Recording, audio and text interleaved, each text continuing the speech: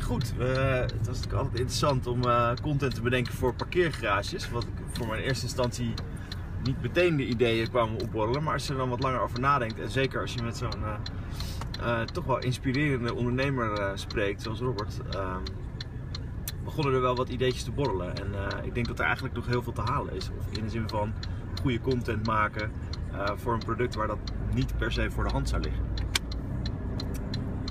Toch?